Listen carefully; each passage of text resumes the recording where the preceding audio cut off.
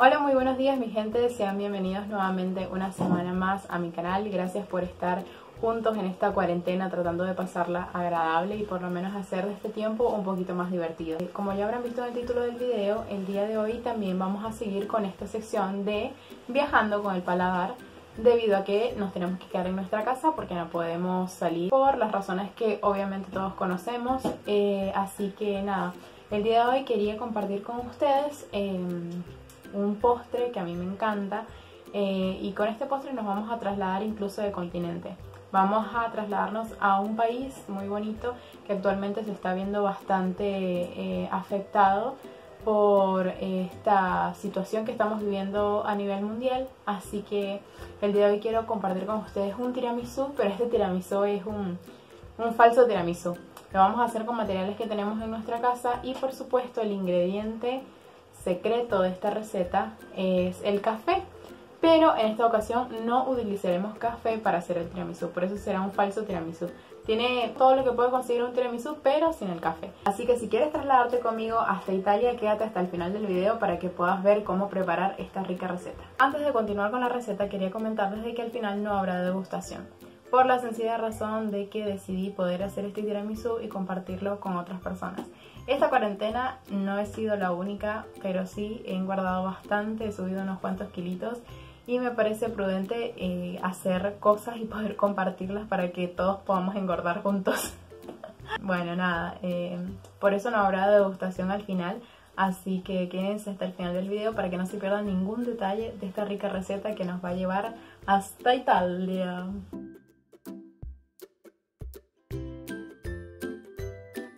Iniciaremos esta receta con nuestro ingrediente sustituto del café y vamos a utilizar malta, café de trigo, eco, como le llamen en sus diferentes países y la vamos a preparar.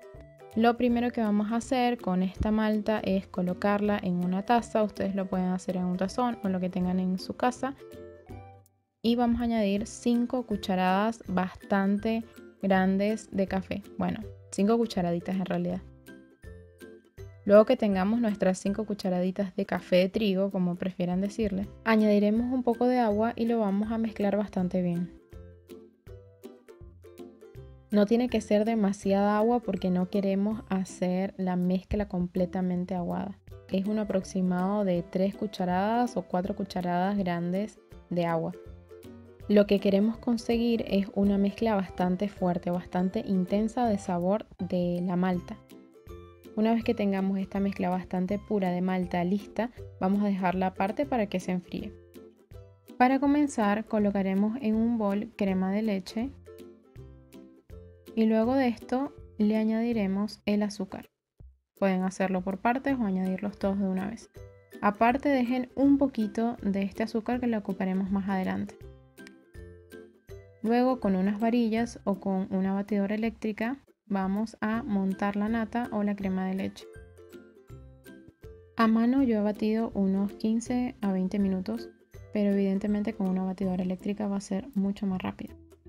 Luego que la nata esté montada, tomaremos un bol y en él añadiremos queso crema. Yo les recomiendo que usen un queso crema que sea bastante firme. El que yo tenía en casa no estaba tan firme, por lo tanto apenas Voy a mezclarlo un poquito porque no queremos que se nos haga una crema. Si su queso crema es mucho más firme van a tener que batirlo solo un poco y ya estaría. Luego de esto vamos a añadir el queso crema a nuestra nata montada poco a poco. Este paso lo pueden hacer al revés también sin ningún problema, pero yo lo estoy haciendo de esta manera.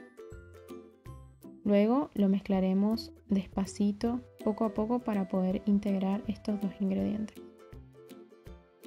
Continuamos añadiendo por porciones y una vez que esté todo integrado, añadiremos dos cucharadas de malta muy muy puras. De esta manera lograremos que la esencia o el sabor de la malta pueda impregnar la crema. En un bol más grande vamos a añadir la malta y vamos a colocarle un poco más de agua. Luego de esto, el azúcar que previamente había apartado la voy a colocar Removemos bastante bien hasta integrar el azúcar en la malta.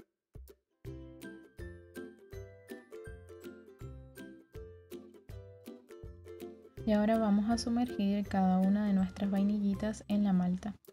y la colocaremos en una bandeja de vidrio o la que tengan en su casa. Traten de cubrir perfectamente la capa de abajo que es la más importante porque le va a dar estabilidad para que a la hora de servir sea muchísimo más fácil.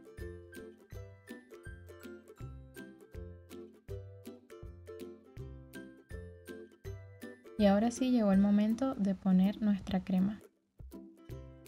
Vamos a añadirla y con una cuchara vamos a esparcirlo hasta que cubra cada uno de los rincones de nuestro postre.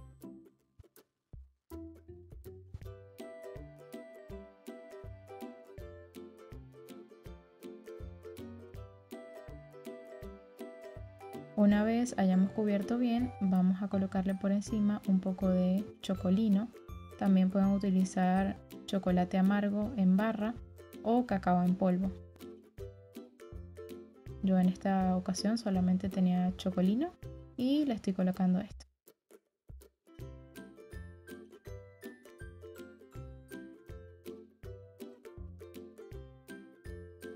Una vez hayamos colocado bien el chocolino, es momento de poner la otra capa de vainillitas. Hacemos el mismo proceso, Colocamos uno por uno nuestras vainillitas sumergidas en la malta.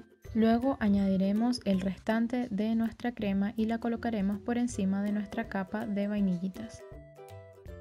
Nuevamente vamos a tratar de esparcirla bastante bien para que todas nuestras vainillitas queden bien cubiertas. Y una vez que hayamos hecho eso, le colocaremos el chocolate. Y de esta manera ya nuestra receta quedaría completamente lista. Yo les recomiendo que puedan dejarlo de un día para el otro en el refrigerador para que pueda tener una mejor consistencia y los sabores se puedan asentar. Espero que esta receta les haya gustado un montón y si es así, no olviden regalarme un gran me gusta, suscribirse a mi canal y seguir compartiendo junto conmigo esta aventura de viajes con nuestro paladar.